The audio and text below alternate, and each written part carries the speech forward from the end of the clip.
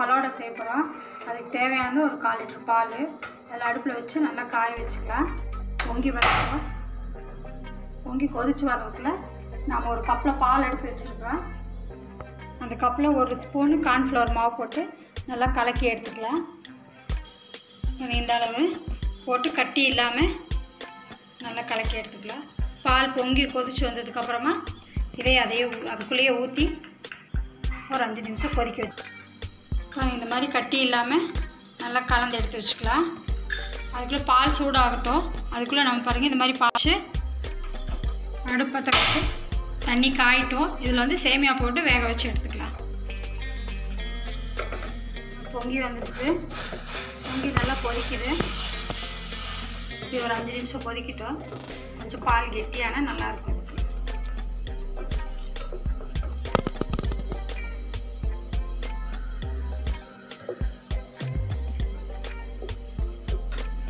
இதுலேயே இந்த கலந்து வச்சிருக்கிற கார்ன்ஃப்ளவர் மாவை எடுத்து போட்டுக்கலாம்.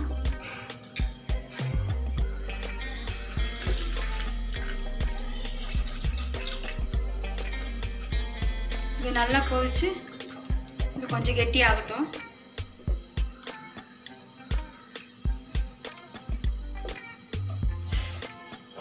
இதில் ரெண்டு ஸ்பூனு சர்க்கரை போட்டுக்கலாம். இதையும் நல்லா கலந்துட்டு சர்க்கரை மெல்ட் ஆனோடனே ஆஃப் பண்ணி எடுத்து ஆற வச்சு ஃப்ரிட்ஜில் ஒரு அரை மணி நேரம் வச்சு ஜில் பண்ணதுக்கப்புறம் வெளியே எடுத்துக்கலாம். போதும் ஸ்டவ் ஆஃப் பண்ணிடலாம் எடுத்து ஆற வச்சு ஃப்ரிட்ஜில் வச்சு ஒரு அரை மணி நேரம் வச்சு எடுத்துக்கலாம். தண்ணி கொதிச்சிருச்சு. பாருங்க இந்த பா சேமியா வந்து நம்ம பாயசத்துக்கு போடுவோம்ல அந்த சேமியா போட்டு இது ஒரு முக்கால் கப்பு போட்டு வேக வச்சு எடுத்துக்கலாம்.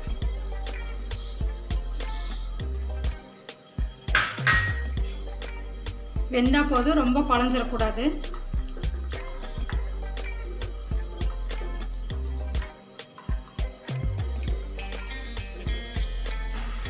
சேமியா வெந்துருச்சு. இந்த அளவுக்கு வெந்தால் போதும்.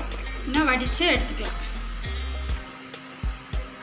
வடிச்சிட்டு அதில் கொஞ்சம் பச்சை தண்ணி ஊற்றி எடுத்துக்கலாம். இல்லைன்னா கொல போயிடும். அது நல்லா தண்ணி வடிச்சிருச்சுன்னா எடுத்துடலாம். ஒரு கப்பில் போட்டு வச்சுக்கோ. பாருங்க பால் வந்து நல்லா ஆறி ஜில்லுன்னு ஆயிடுச்சு.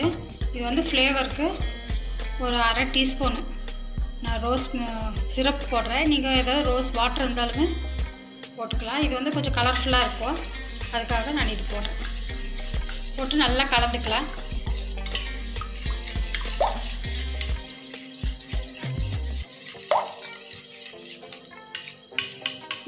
இந்த மாதிரி கலந்து வச்சுட்டு மற்றதெல்லாம் போட்டுக்கலாம் டம்ளரில். இன்னும் முதல்ல டம்ளரில் ரோஸ் சிரப் வந்து நம்ம ஒவ்வொரு ஸ்பூன் ஊற்றிக்கலாம்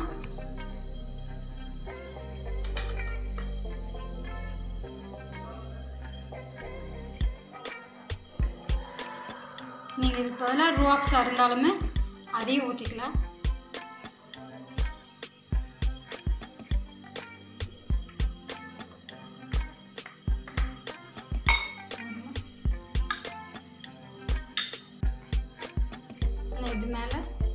சேமியா போட்டுக்கலாம்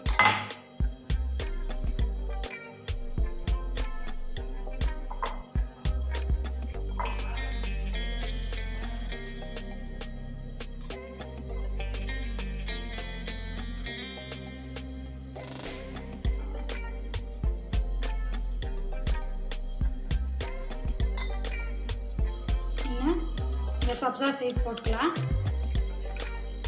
ரெண்டு ரெண்டு ஸ்பூன் போட்டுக்கலாம் இதில்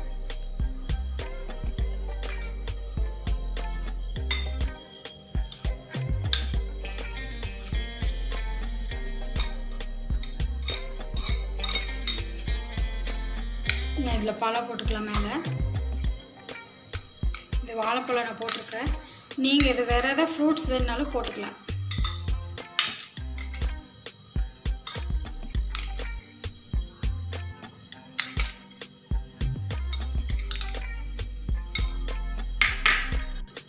இதுக்கு மேலே திராட்சை.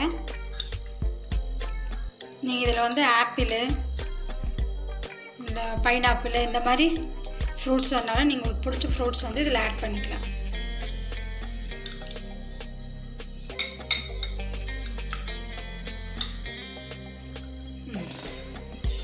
இதுக்கு மேலே நம்ம வெண்ணிலா ஐஸ்கிரீம் வாங்கி வச்சுருக்கேன்.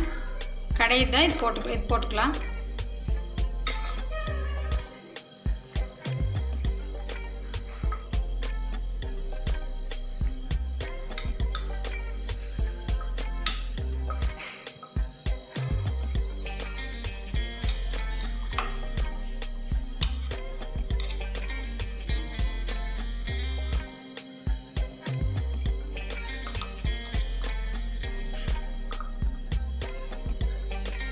உங்களுக்கு தேவையான ஐஸ்கிரீம் போட்டுக்கலாம். எவ்வளோ வேணுமோ அவ்வளோ போட்டுக்கலாம்.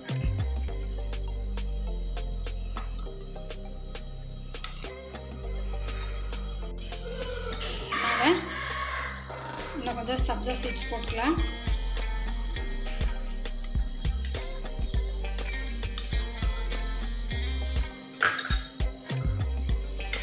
போட்டுட்டு நம்ம கலந்து வச்சுருக்கிற பால்.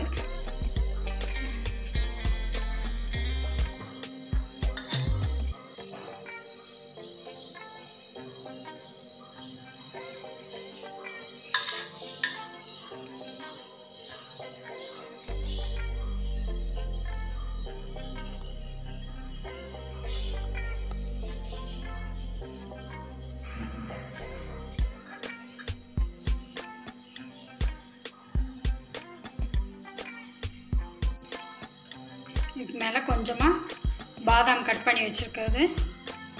போட்டுக்கலாம்.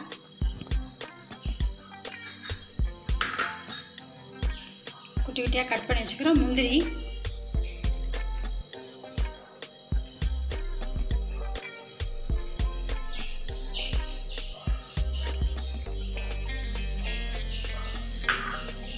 இதுக்கு மேலே இன்னும் கொஞ்சம் ரோஸ் சிரப்பு மேலே போட்டுக்கலாம்.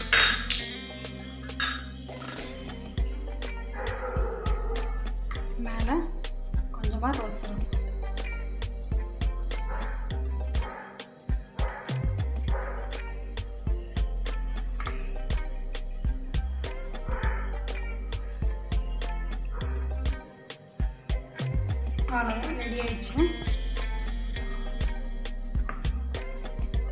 நீங்கள் உங்கள் வீட்டில் செஞ்சு பாருங்கள் எப்படி இருக்குன்னு கமெண்ட் பாக்ஸில் கமெண்ட் பண்ணுங்கள் இந்த வீடியோ உங்களுக்கு பிடிச்சிருந்துச்சுன்னா லைக் பண்ணுங்கள் ஷேர் பண்ணுங்கள் சப்ஸ்கிரைப் பண்ணுங்கள் பக்கத்தில் இருக்கிற பெல் ஐக்கானையும் ப்ரெஸ் பண்ணுங்கள்